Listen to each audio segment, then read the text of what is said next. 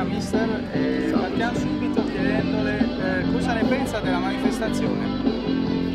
Bellissima, veramente bella, complimenti all'organizzazione, complimenti a Marco De Marchi, eh, amico oltre che bravissimo ad organizzare questa manifestazione, squadre di grandissimo livello e veramente bello, siamo felicissimi di essere qua non siamo felicissimi dei risultati che abbiamo ottenuto in queste prime due partite, però per quanto riguarda la manifestazione davvero complimenti, veramente bella, una, una, bello, una bella mm, vetrina per i settori giovanili.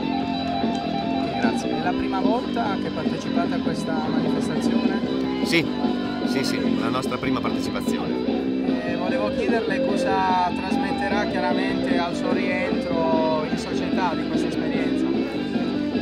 innanzitutto ringrazierò la società di averci fatto partecipare a questa manifestazione perché, beh, a parte noi, ma che contiamo relativamente, credo che per questi ragazzi confrontarsi con pari età e tra le più forti assolute in Italia e in Europa sia una cosa speciale, quindi più che noi sono i ragazzi che dovrebbero veramente dire grazie in questo caso al Sassuolo, alla società perché ci hanno fatto partecipare a questa bellissima manifestazione.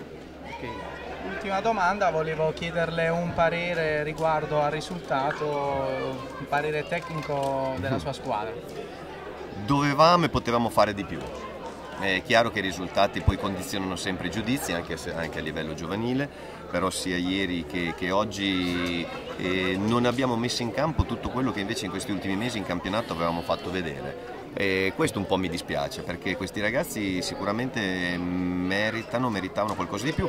C'è ancora l'ultima partita domani, ce la vogliamo giocare per carità, eh, ce la giochiamo, ce la giocheremo alla morte anche domani, però queste due sconfitte penalizzano oltremaniera. Chiaramente ragazzi i ragazzi devono capire che se abbiamo perso è, è esclusivamente colpa nostra ripeto, non abbiamo portato qua quelle, quelle belle cose che Tra negli ultimi mesi in campionato avevamo fatto vedere. Questo un po' mi dispiace, in una vetrina così importante potevamo e dovevamo fare qualcosina di più. Vi auguro un in bocca al lupo per la partita di domani e la ringrazio per tutto. Viva il lupo, grazie. grazie, grazie.